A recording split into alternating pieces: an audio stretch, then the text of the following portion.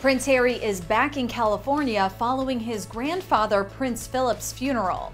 But now, a source close to the royal tells ET he would have liked to stay in the UK longer. The Sussexes, I think, feel very far away from us over here in the UK. They're, they're in LA now that they're based in the US. And I think we're seeing quite a distinction here between the Cambridges really flying the flag for the royal family and the Sussexes creating a new life for themselves in LA.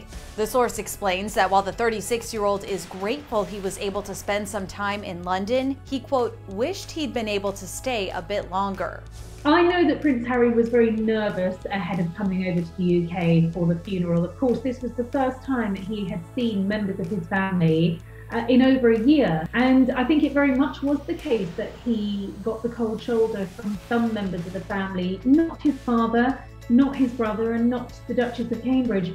And despite the reports that some interactions with his family were cold, the source tells ET he welcomed the opportunity to reconnect, especially since COVID has prevented him and his wife Meghan Markle from traveling to the UK over the last year. The talk at the palace is that they are absolutely horrified by what has been said. They feel that Harry has literally thrown the family under a bus. Of course, the Duke of Sussex's trip to the UK comes on the heels of a reported falling out between Harry and his older brother Prince William after Harry and Meghan's bombshell interview with Oprah Winfrey. Things were not going to be resolved in, in one or two family meetings. So while this has been an important step, there's clearly still a lot of hurt, a lot of resentment, and a degree of mistrust, I think, on both parts. ET source says Harry and William have been working on the commemoration to their mother, Princess Diana, scheduled for later this summer on what would have been her 60th birthday in July. The source adds that while relationships were raw in the aftermath of the Oprah interview,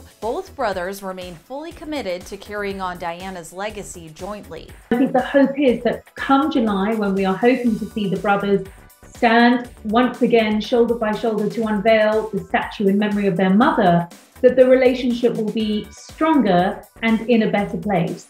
Earlier this week, the palace announced that Princess Diana's 1981 wedding gown is set to go on display at Kensington Palace in London this summer. The gown, which was designed by Elizabeth and David Emanuel, was worn by Diana during her wedding to Prince Charles. With Diana, she, she chose us because she was used to the designs that we did. She liked them felt comfortable. The dress is now owned by William and Harry, who have loaned it to the HRP for the exhibit.